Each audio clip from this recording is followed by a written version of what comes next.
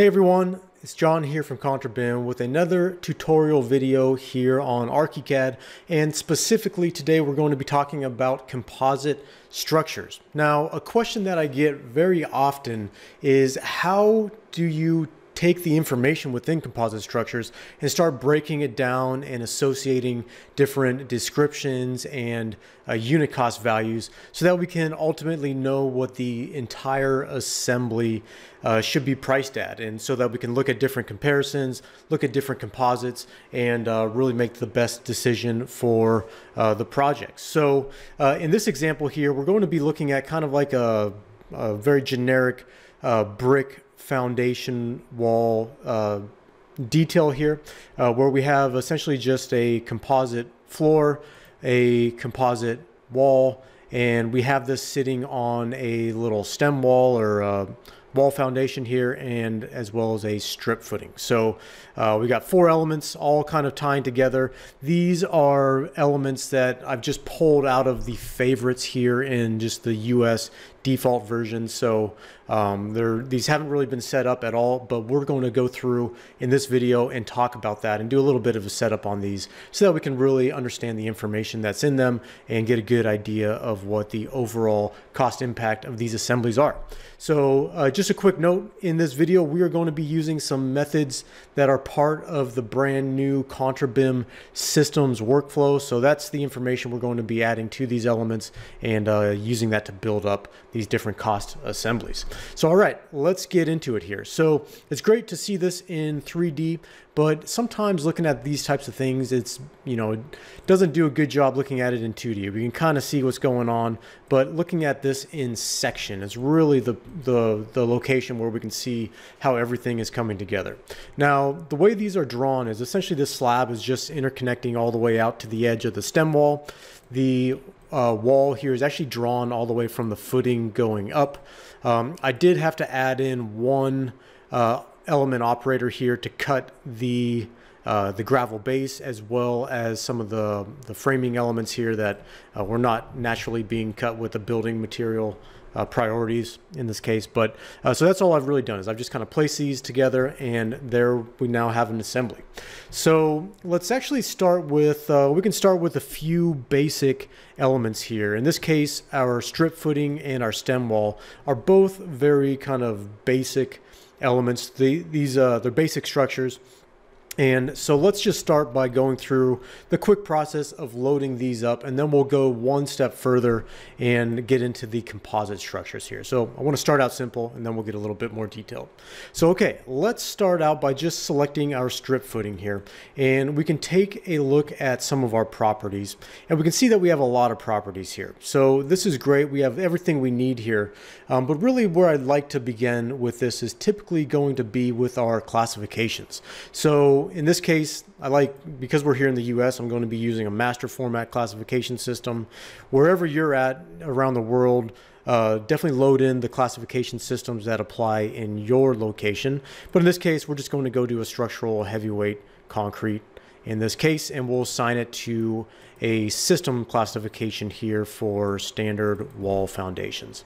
We can actually do the exact same thing on our uh, our stem wall here by going in and we'll just make these two assignments. So once again, this is a uh, structural concrete. So we'll drop that in its material classification system and then we will give it its uh, system location, which is wall foundations again. So, okay, we've assigned these two. What I'd like to do now is let's actually add some labels to these elements because I find labels are really a useful way of uh, reviewing the content, making sure that we have a way to get instant feedback without having to select elements. And so let's just go ahead and we're going to grab this kind of favorites label here. I got a few uh, labels pulled off to the side here. Um, and so what we're going to do is let's just go ahead and we can just simply give this a label. So, all right, we can see here we have a system code coming through, which was from our classification. We have a trade coming through. We have our ID, which is being noted up here. We already have a takeoff value here. So right now, or sorry, this is, okay. So our unit cost, it's our unit cost is blank, but it's being multiplied by a 56.67 square feet here. So where is that information coming from? Uh, we actually have a few other values down here as well. So we have a square footage value, we have a volume, uh, that value doesn't quite look right um, in this case, but we'll go in and check that. Uh, we also have a length here. So this is 120 inches long, 16.6 cubic yards. That doesn't seem right. So to, to adjust that value there, we need to certainly pay attention to our calculation units and rules here. So if we go in, I bet we're going to find our area or volume is in cubic feet, which it is. So let's switch that over to cubic yards. Our length we would want definitely either decimal feet or feet and fractional inches. It doesn't really matter too much in this case. So we'll just switch those. And okay, we can see that yes, this is now updated. That looks much, much better. Okay, so let's dive into this label just a little bit deeper here so we can kind of understand what's going on. So you can see by the highlighted values in this label, we have a lot of auto text happening here. Now, if we double click on this, or if we, if we, uh, sorry, if we select this and then we go into our auto settings, it'll take us directly to where that is being referenced from. So in this case, we can see we have a takeoff value here um, and we also have a unit here. And what's interesting about that is we can adjust these and it's going to automatically adjust, adjust those as well. We also down here have a volume so we can see where this is coming from. It's a quantity takeoff value and we have a dollar per volume. So what is that? Well, we'll find out here soon. This is a uh, an expression that we'll run through and uh, calculate that cost per the unit that we set in this case. So let's go ahead and let's make a few little adjustments here. And we won't make an adjustment to our label. We're just going to make an adjustment to our footing in this case. And let's start by actually going through and say we want to price this by linear feet. We can go in, change that value, change this to say 20 per linear foot here and let's take a look at what's going on so now we can see our unit cost has changed so we have $20 per linear foot and our takeoff value has changed so that it's our length of our footing here. In this case, we can see our length down here. These values are the same, but we're also getting immediate feedback on our cost per volume. So this is what I would call a very basic uh, way of approaching this, um, where we're just simply determining what uh, value we want to use by our units. We're plugging the associated unit cost we get a calculated cost for that item, and then we also get some cost comparables here. All of this being just set up directly within ArchiCAD. So let's try this one more time, and let's actually go here to our foundation wall. Um, I'm going to try that input again. Okay, well, we can take this and move it so it's a little bit more out of our way. Okay, so we can see a lot of the similar information. We can go in and if we wanted to price this by um, by square feet in this case, we could give it like say $10 per square foot. And just by plugging this in here, we can see how all of these are going to adjust and we can get our cost per length, 16 per linear foot. We can get our cost per volume. So this is just basic um, expressions running in the background. So, all right, that's a little bit of an introduction here into how we can load up some model elements with units and based on those units, we can assign a unit cost and we can start producing these exact uh, cost uh, outputs here. Now let's go one step deeper now and start getting into, uh, we'll go from basic into composite structures. Now, with our composite structures here, there's a lot more going on. And so to talk about how these get set up, I think it's really uh, good to, uh, let's just start by selecting a slab and we'll go in and take a look at some of these properties that are going on here. Now, um, in order to do that here, we can actually assign I'm going to just kind of start with a base label, uh, just exactly the same as what we've done before. And we can go in and kind of start with this high level of detail here. Now, um, if we go in, we can see here that we have a square foot cost. Now we could just plug a general all in square foot cost here of maybe like $15 a square foot. And that would include every single layer. So our flooring, um, let's actually pull this up so we can get a better idea of what's in here. Um, so we have a wood flooring, there's a wood OSB, there's a pressure treated wood uh, kind of furring strip on the bottom. Then we have a structural concrete and we have a gravel base. And who knows, maybe we even have like a vapor barrier uh, somewhere in between here. So um, it's not called out specifically, but we can always go in and build on these composites as well with the information stored behind them. So, all right, let's go ahead and let's start diving into this. Well, actually, let's do this first. Let's set this up for using a basic cost, and then we'll actually go in and we can make some adjustments to make the, to build this up with each of those different details there. So, all right, let's start here. We have our slab selected and let's go in. We've already plugged in $15 per linear or per square foot. So we're actually seeing all of this being calculated already. Our length, in this case, it looks like a null value there because slabs don't have lengths. So obviously that's not going to apply in this case. Um, but we can also go in and we can just simply give it a little bit of uh, definition here. So um, since we only have one option here for tagging it with a master format classification, we could either use the concrete structural or we could go with like the finish and give it like a uh, wood flooring would be a way to take this. So another thing that we can do here is this is definitely going to be, in this case, I would consider this probably a slab on grade assembly. Okay, so now we've assigned some basics. Let's start getting into the details here. And in order to jump into this, um, well, actually, let's let's do this. Let's actually take our label here. And what I want to do is I want to actually just copy this. And we are going to go in and really start building this up, this cost assembly here. So what I'm going to do is I'm actually going to start deleting a lot of this here. And what I want to do is I want to start giving this a little bit more structure here. So we can actually use some spaces. We can use tabs in this case to create a nice clean line. And I want to go through and I want to start building this up from the top down. So um, our top surface here is going to be um, a cost that's relating to, let's see what we have available um, for our top surface cost. Well, if we go down here to some of these uh, composite details, we have an outside top finish type and we have an outside top finish cost. So I'm actually going to start with our finish cost and our finish type. And so we're going to add both of those here and I'm just going to give it a single space. So that's one level.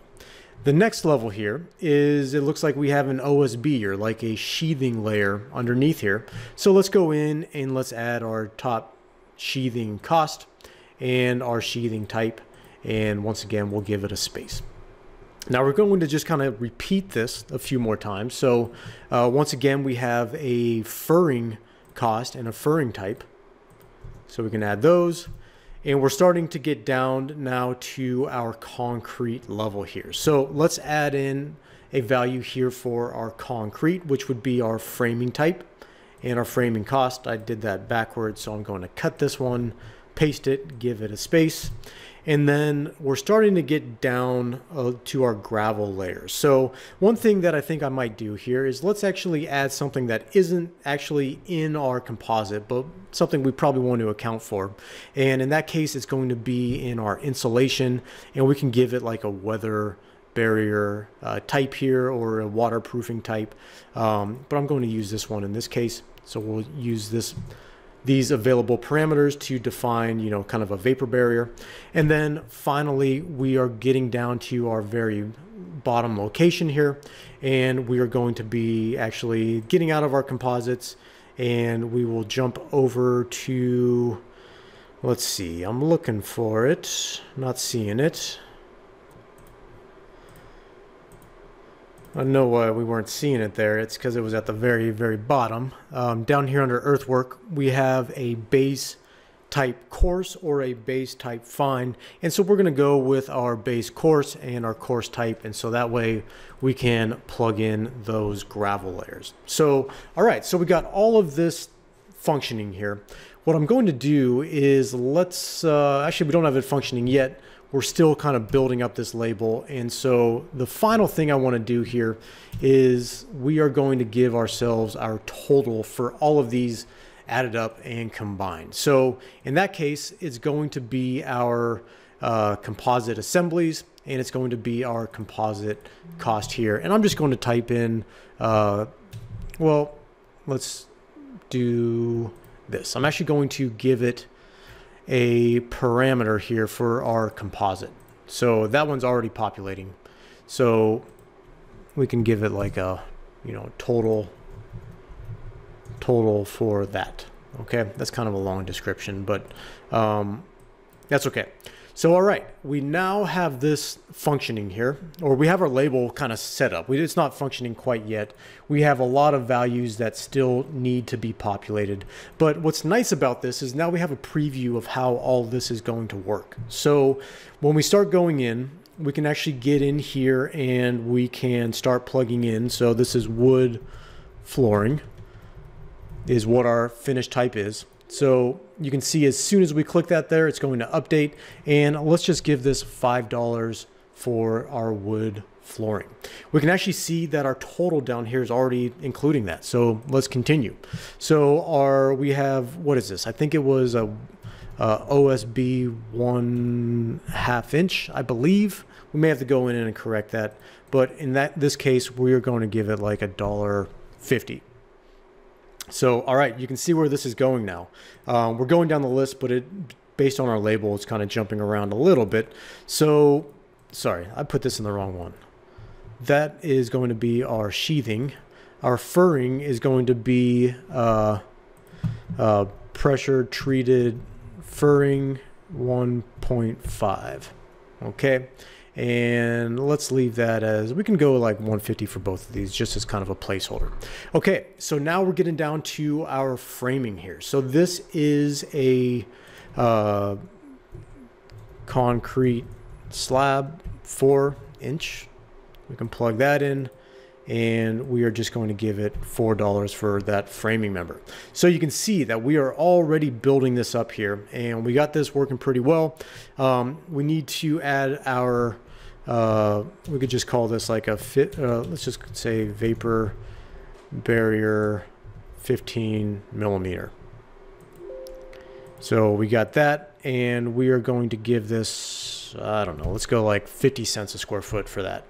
Okay, so we are almost done. We got one more. It is our base type. So let's just call this uh, gravel, I don't know, one half inch. And for our layer here, which looks like it's maybe four inches, um, I'm going to just make a note here, four inches of one half inch gravel. So in this case, we can go maybe 50 cents a square foot for that as well. So, okay, so we've gone through and we've built this up now. And you can see that for the total on this of wood flooring, and everything underneath it, we've now created this assembly and we can see our preview, which is now $13 per square foot in this case. So actually we were kind of close. We were guessing $15 per square foot for this. Um, but we have one more step here that we need to do to update this. So, um, so, so what's being pulled here right now is just our general unit cost and our cost uh, or our quantity takeoff. One thing that we need to do is we have our base unit cost here. Actually, in this case, this is a unit cost variable, which is actually what we want. Um, in order to uh, update that, so it references this one down here, we have actually an option set that will that will allow us to pick and choose which one we're going from. So right now we're set to our base unit cost here, which is $15. That's why it's calculating through. We can choose our composite, and we can see what our unit cost is now. And before we can even check our label over here, we can see that that is now updated as well.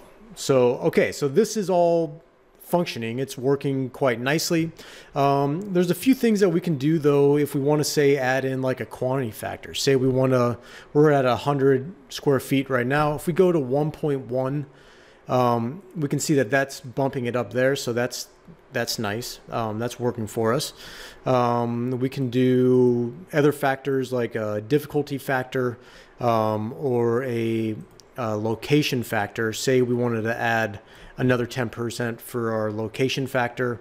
So that's going to bump up just our cost. It's not going to adjust this value at the moment, but it's going to include that there in um, that value. So um, so yeah, you can see how all of this, just by plugging in some different values for each of these different layers, we're now setting this up and really kind of creating a nice little rig that we can then uh, go and build a project with. So um, let's do one more example here. I think it's worth kind of repeating this process once again and um, we'll do it with our wall in this case. So let's jump in here. I'm actually going to grab a well, we can use this similar label.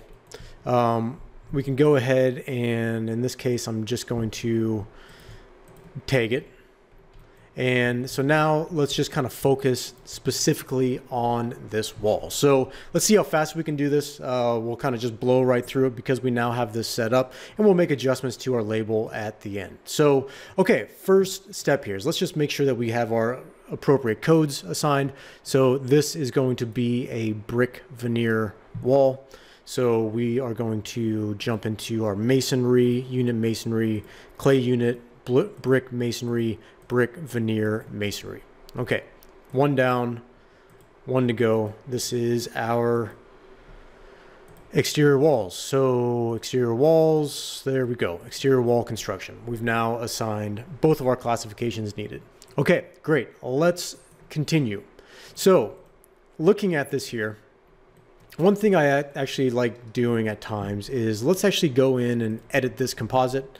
And to help me through this exercise, I'm just going to window snip this, copy it, exit out, and oh, that's a little larger than I want, but I'm just going to paste this directly in here so that we have a nice reference as we are going through and trying to build this up.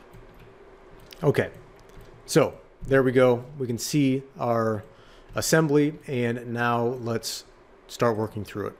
So, okay, properties, we can just do like a general unit cost. I'm going to go like $40 per square foot for this, just kind of guessing, and we'll see how close we are to that. But right away, we can see that already we are calculating our total cost. So that's kind of like our initial projection in this case. But let's go through and build this up now. So first thing is we have our outside finish. So this is brick, uh, we'll call this uh, running bond, uh, I'll just call it brick running three and five eighths. And I'm going to give this $25 a square foot for that brick veneer. Okay, coming up next here. So we're actually going to have just an air gap here. So we don't really have any furring in this case. We do have a sheathing layer, but it's going to be kind of buried in here a little further. So this is going to be uh, sheathing one half and let's go like $2 a square foot for that. We have a framing cost. So in this case, this is a wood stud frame that's five point, uh, we're gonna say two by six, okay? Okay, framing cost there is also going to be about $2 a square foot. So we don't have any interior sheathing, but we do have our board wall. Uh, what is it? It's five eighths, and I just like defining like typically like a level four finish in this case. So once again, we can just plug in like an average of like say two dollars a square foot. So could be like 150, could be 125 depending, but we're just going kind of like two dollars across the board just to kind of see how this builds up. We're being conservative here, but um, but yeah. So that includes pretty much everything that we would have under our composite details. Now we're getting into our insulation. So we actually have two types of insulation here. We have a, uh, let's call this foam board 1.5. And whenever I'm thinking of foam board, I usually think whatever the thickness is, is about how much it is a square foot. we also have batt insulation here. So for a six inch stud, let's just call this batt uh, 6R13 or R19. We can define the value. And let's plug in a cost for this of just say a dollar. Okay. Now we got our insulation foam board. Now that can probably act as a weather barrier as well, but we could also give it like a uh, vapor, or we could just call this like a building wrap. So we got some options here and we're just going to go maybe like 30 cents for this. 35 cents. Okay, so we are building this up now. Um, we have a few more things that we need to add as well. So um, and actually, just one more point, this weather barrier here. If we wanted to list this later on based off the materials here, this airspace is actually pretty useful for that at times. So something to be uh, just want to make that, that quick point. All of these values here that we're plugging in can essentially be related to each of these when it comes to uh, individual listing of each of these materials. Um, but we'll talk about that in another video. So, okay, so we have pretty much everything here that we want to include, except for one additional, which in this case is going to be our interior uh, painting type. So I'm just going to call this interior, interior prime plus paint and we are going to give this say like a dollar 50 we can do two dollars doesn't really matter. But we've gone through and now added several different layers. We added one two three four five six seven different details to this buildup. And um, so now we are pretty much at that point where we can see what our total is. Um, this total down at the bottom here is going to calculate regardless of what we have listed in our label. But we can go through and just make a few adjustments here. Um, let's do this. So um, I want to pan up just a little bit so I can see my sequence. And so, all right, so we have, let's see, we have this value here, this row. I'm going to cut it and I'm going to paste it here. I'm just going to go in and redefine what these are. So this in this case, I'm going to go and call this our weather barrier. It's our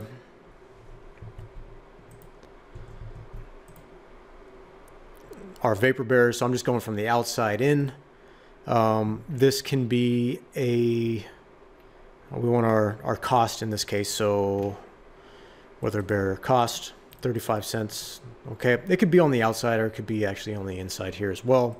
Um, we have our sheathing, but that's going to be pretty far in there. It's actually, okay, actually no, that's where it should be. We have our wood stud framing. We don't need this building wrap in this case. Actually, we already had that. I should have just cut that one and pasted it up there. Um, but this value here, well, let's go in and re-specify where this is coming from. So we need our bat insulation cost and our batt insulation type. So we're building these up.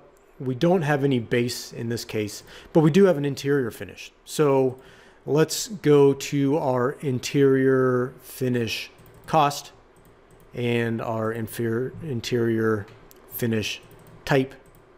Okay. And so what are we missing here? We need that insulation, which is going to be right about here. So I'm just going to kind of build this up once again by putting a dollar symbol so we can get that looking nice and clean. We can add our rigid insulation cost and our rigid insulation type.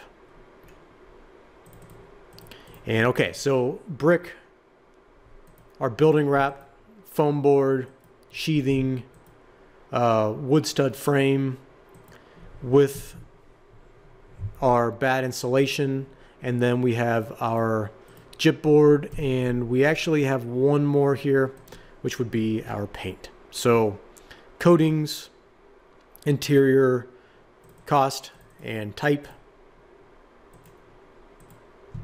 And so there we are.